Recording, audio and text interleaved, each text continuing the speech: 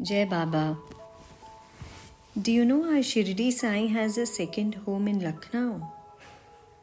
I would like to share my experience with Sri Sai Baba of Shirdi at Oditi. As the month of July would approach, every year I would get excited to get my tickets booked to Shirdi to meet Baba on my birthday. That is on 23rd August at Dwarka Mai and the Samadhi Mandir. With Baba's grace, this has been my journey since last 10 years. I wait patiently to celebrate my birthday with Baba in Shirdi every year. This year, because of the pandemic, I was very anxious, wondering how to go to Shirdi and would think I wouldn't be able to see Baba's divine face the first thing as dawn breaks on my birthday this year. I was overwhelmed with various thoughts. Little did I know that my Baba had a different surprise planned for me.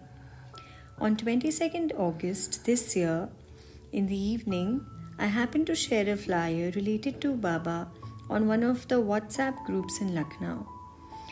And within a couple of minutes, Mohit Bhaiya, a very renowned journalist, sent me a message related to the flyer. He also sent me a couple of pictures of a Baba Sai's temple at his home that he calls Baba's abode, Sai's second home.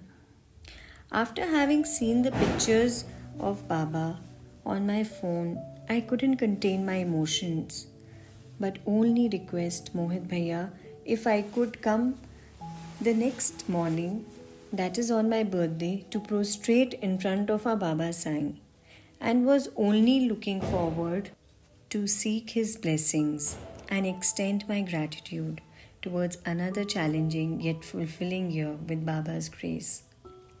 I never imagined that on 23rd August morning I would get Baba's darshan at Oditi, a place where the sun never sets, Baba's second home in Indiranagar, Lucknow.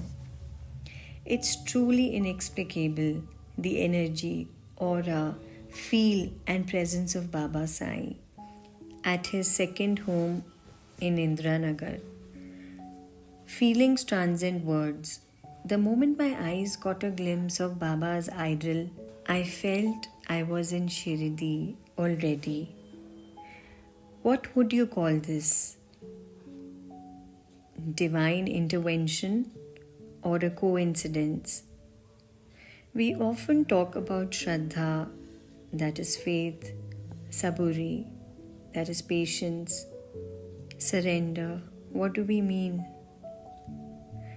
I learned in my journey with Sai that whatever situation we are in, He knows best. If we truly surrender our ego, our thoughts, our feelings, Malik's ways are mysterious.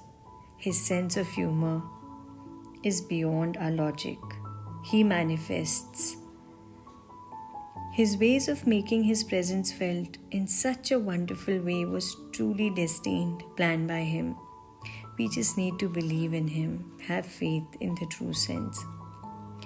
In humble gratitude to our modest Mohit Bhaiya for giving us time and sharing his numerous wonderful leelas of our Baba Sai.